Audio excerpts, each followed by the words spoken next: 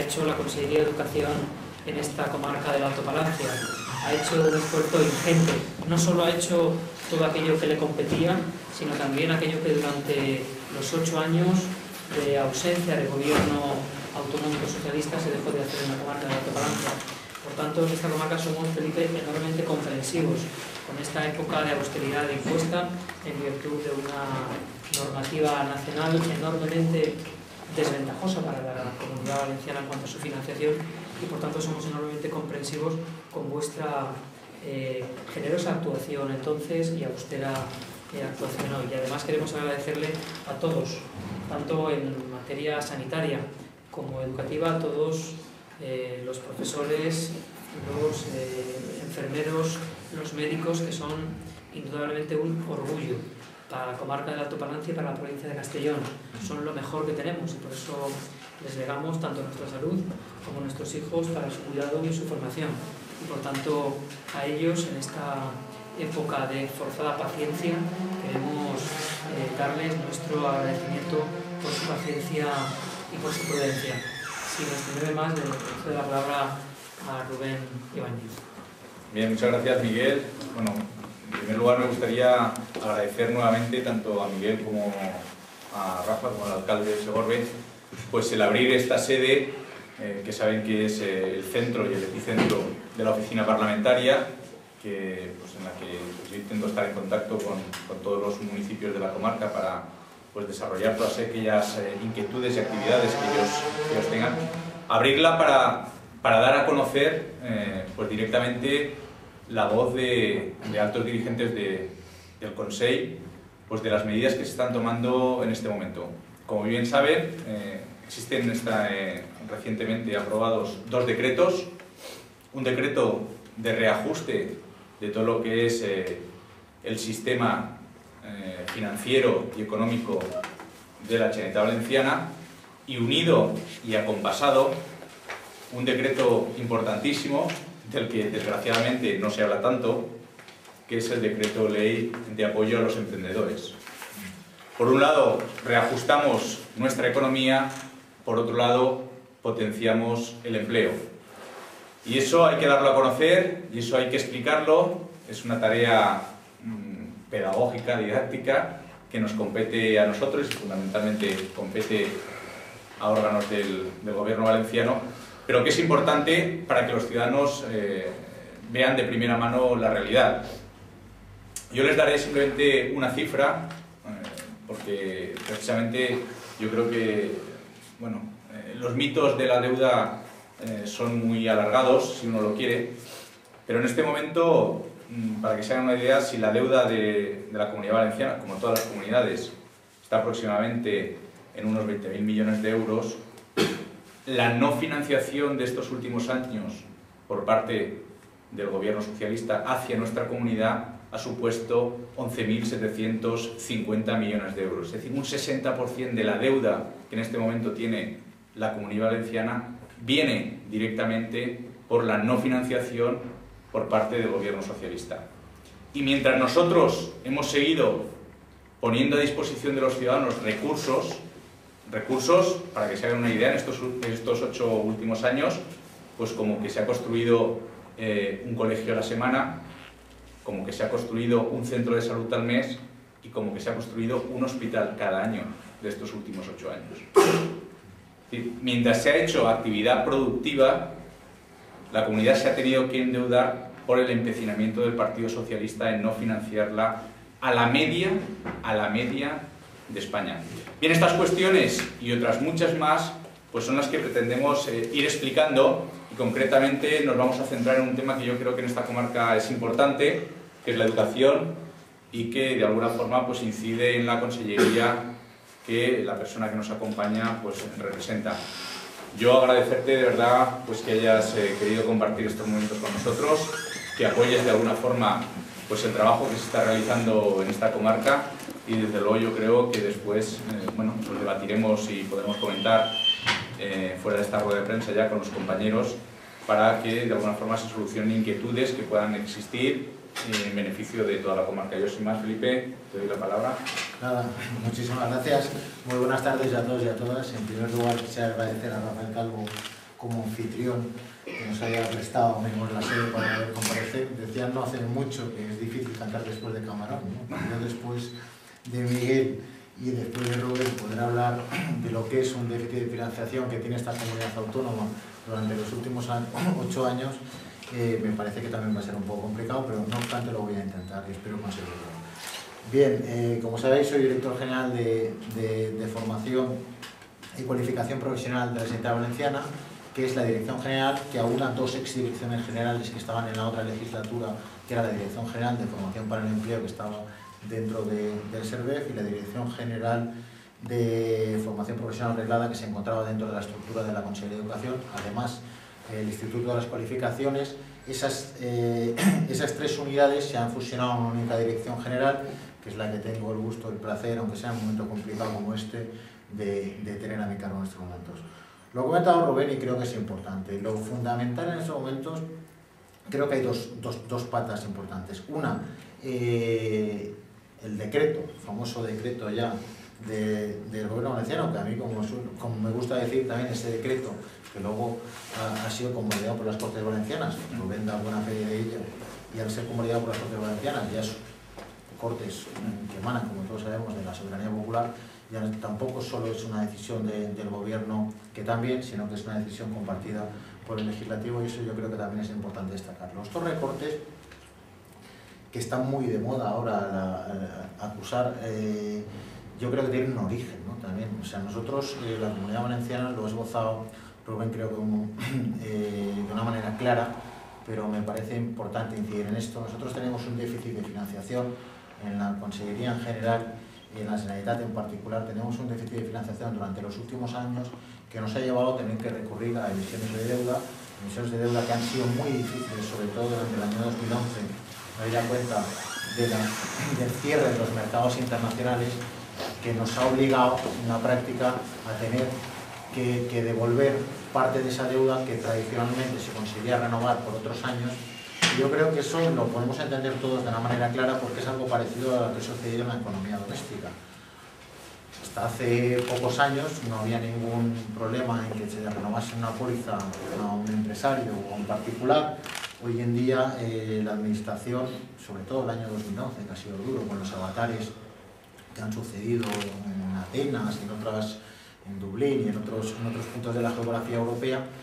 que qué duda cabe también han, han, cerrado lo que eran los, los, mercados de financiación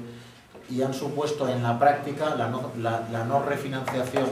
de una deuda de la, de la, comunidad valenciana que esa no refinanciación o, si, o, si, se hubiese, o si se hubiese financiado esa deuda hubiese sido a unos costos tan altos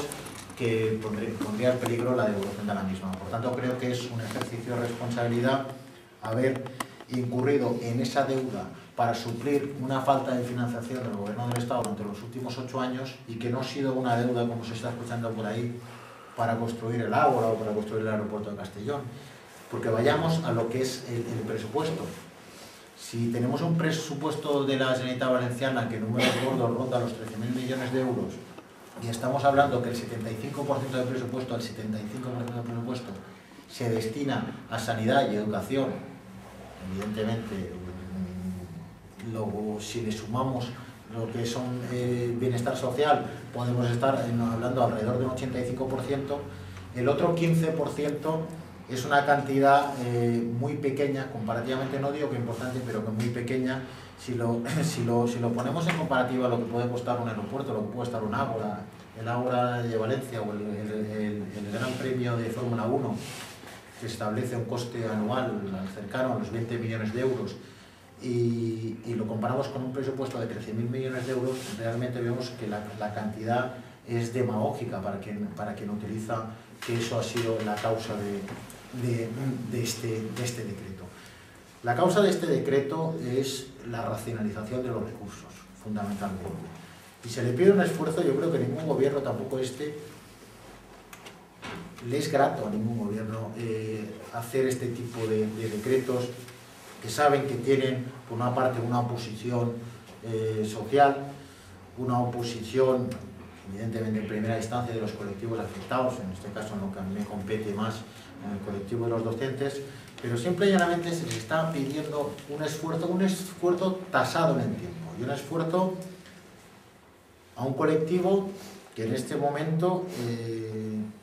tiene, tiene un trabajo fijo, tiene un trabajo estable, cuando por desgracia muchos de nuestros eh, conciudadanos no, no pueden disfrutar ni tienen visos, al menos a corto plazo, de poder encontrar un puesto de trabajo. Y eso es importante. Lo ha comentado Rubén antes, 11.700 millones de déficit de financiación. Al final, la mitad de la deuda, más de la mitad de la deuda que tiene la Comunidad Valenciana, no se hubiese producido si se hubiese dado una financiación eh, conforme a, los habitantes que teníamos o conforme a las necesidades que teníamos, porque no se ha gastado ese dinero en otra cosa, como falsamente, como falsamente se dice. Se ha gastado en sanidad y se ha gastado en educación. 1.891 millones de euros invertidos en 420 centros desde el año 2003 hasta la fecha de hoy. 1.891 millones de euros. Del septiembre de 2010 al septiembre de 2011, 23 centros nuevos, 26 centros nuevos, perdona. Y al final, en otra cosa importante, que es en lo del empleo, y creo que aquí se puede ver los fondos por parado del, que el Ministerio antiguamente llamado Ministerio de Trabajo e Inmigración, destinado a políticas activas durante el año 2011, nos lleva a que por cada parado valenciano, por cada persona que esté parado en la Comunidad Valenciana, la Comunidad Valenciana para destinar de, en políticas activas y de formación recibe 512 euros, es la peor financiada de todo el Estado, cuando otras comunidades autónomas reciben hasta el máximo de 1.033 que se da en Asturias y la media de España son 675 euros. Al final, estos desequilibrios a la hora de financiarse te hacen tomar como gobierno decisiones que es o recurrir a la financiación por tu cuenta para suplir la no financiación estatal o el déficit de financiación estatal o no poder atender como son las de educación. Y es precisamente cuando se quiere cuadrar los calendarios de evolución es cuando se aplica este escenario de rigor, de austeridad y de reorganización de los recursos. En este momento, básicamente en lo que corresponde a educación, estamos hablando de un esfuerzo tasado en el tiempo, estamos hablando de los sexenios que tienen el personal docente, se congelarán del 1 de marzo de este año hasta el 31 de diciembre del año próximo la consecución de nuevos sexenios. En otras palabras, el que tiene que cumplir, el que tenía que cumplir un sexenio el 1 de marzo del año 2011, ese sexenio lo cumplirá el 1 de enero del año 2014. Durante eh, el 1 de marzo del 2012, perdón, 2012 estoy diciendo, del 1 de marzo del 2012 hasta el 31 de diciembre del 2013 no se, no se consolidarán nuevos sexenios. Y los que ya están consolidados, pero solo durante ese tiempo, una duración temporal. Eso es importante subrayarlo porque luego la situación ya se normaliza. Y los que ya están consolidados sufrirán una, una reducción del 50% de esos sexenios durante ese mismo periodo de tiempo. Al final, tenemos que un profesor de secundaria, más o menos en la comunidad valenciana, puede estar eh, el coste que tiene para la administración, incluyendo salarios y aportación a la seguridad social, de media 43.000 euros y un más 7.500. Este coste, dependiendo de los sexenios, lo que nos hagamos una idea, supone el que tiene un sexenio, un mensual medio de un por ejemplo, es un, un recorte mensual de 167 euros cantidad importante para que la sufre sí, pero creemos que es una cantidad asumible por parte de ese personal docente fijo y esfuerzo puntual y temporal en el que estamos pidiendo. Por otro lado, en lo referente, sabéis que de la masa de, que conforman los docentes de la, comunidad valenciana, que son exactamente 51 de la comunidad valenciana, interino 15% de todos los es, es, es interino. Bien, eh, ese personal, a partir de ahora, contratado de septiembre hasta el 30 de y tendrá 25 días del mes de julio y tendrá eh, cobrará una prestación de desempleo durante el mes de agosto y el 1 de septiembre vuelve a ser contratado. Sufrirá una merma, según hemos dicho, de 143 euros al profesor de secundaria y 116 al mes el de primaria. Son datos que estamos hablando de personal interino, no fijo. Y yo entiendo que muchas veces las situaciones, cuando se prolongan en el tiempo, da la imagen o da la sensación de que un personal interino eh, fija, pero sí, al final esta situación eh, que, cualquier otra persona que está al albur de lo que es el mercado. Pero yo creo que en este momento está eh, mejor protegido, porque con este, con de reducción de, de contrata, lo que se hace es una penalización, porque cierto es que esa persona no daba, digamos, su de esas fechas y además tampoco la menos es, significativa, ya que, como he comentado, durante el periodo de vacaciones y durante la estación. Otra medida, y ya es la, tercera y última, que, que también interno, mediación. ¿Verdad? Mm, a mí yo creo que es un error demonizar al, colectivo docente, porque creo que el colectivo, las sociedades que, que, que demonizan al colectivo docente son sociedades que, que, están tirando piedras sobre su propio tejado, al final el colectivo docente es el colectivo que tiene que formar a nuestros hijos es el colectivo que tiene que, que marcar la formación y la educación debe redundar en la sociedad en los próximos años. Pero cuando pedimos a las mutuas, por ejemplo, y nos comunican que las bajas laborales razonables siempre están por debajo del 4%, y por ejemplo, podemos estar hablando que hoy en día es una otra de las cosas que se dicen, que el sector de la educación es un sector muy estresante, pero las minerías tienen unas, unas bajas no superiores a un 6%, resulta ciertamente preocupante que estemos alrededor del 27% de bajas laborales. Significa que a día de hoy docentes 83 están de baja. La comunidad valenciana lo que hace es suple esas bajas con nuevo personal docente y eso supone un coste adicional a las arcas de la comunidad y a las arcas de la Consejería de Educación, Formación y Empleo de 63 millones de euros anuales. Lo equivalente, en otras palabras, a 1.500 nuevos docentes. Estas bajas, o mejor dicho, si se produjesen en, unos niveles razonables. Por tanto, estos efectos, lo que se ha hecho es que las bajas por enfermedad común y accidente no se complementan hasta el 100% únicamente los inferiores del día. La parte eh, la Generalitat Valenciana apuntaba la parte no y eso solo se producirá durante los 15 minutos. Reitero, no el personal fijo, no en el fijo. En el interino, que subrayo también, son 7.800 interinos de un total de 100.712 Básicamente estas son las medidas, son medidas desagradables, son medidas que se toman de punto temporal y que simplemente piden corresponsabilidad a un colectivo cual se, del cual y en este momento las medidas reconozco que son eh, para, para, para, este colectivo. Por mi parte, nada más que añadir. Yo sí quería preguntarle eh, cuál es la situación en la que se encuentra el colegio de, de Chobar, mm. que todos sabemos que desde hace tres años pues, los niños están en, en barracones y que hay una propuesta del ayuntamiento de, de Chobar para adecuar las antiguas evitar cosas Sí, es un, es un, tema que corresponde directamente a la dirección general, pero yo como venía de Alto Palancia eh, me he estado, me he estado a eh, El compromiso es legislar las afectadas maristas. Aulas fabricadas están en, toda la comunidad valenciana, alrededor de 90 fabricadas, son en toda la comunidad valenciana, el compromiso es que toda la priorización de inversiones, ya que se ha hecho mucho, se ha hecho mucho como estaba comentando antes, de nuevos colegios, nuevas infraestructuras educativas, la es que los, los, los, recursos que tengamos esta legislatura, la absoluta, es eh, que se acaben con, las aulas, con, con esas aulas, de la hecho. ¿Y en esta legislatura Castelnuovo también tendrá un nuevo colegio? De, de, de, digamos, en este momento son acabar las, las, las, o sea, mm, acabar las aulas prefabricadas que hay en este momento. La construcción o no de, de nuevas infraestructuras, hay una cifra que lo dio, la dio la 130 millones de euros para, para construir nuevos centros y ampliar y remodelar algunos existentes, desconozco exactamente si el de Castellano está dentro de sus planes, pero las cifras esas son 130 millones de euros. De hecho, creo que la semana pasada el presidente de la Sanidad habló también de estas cifras.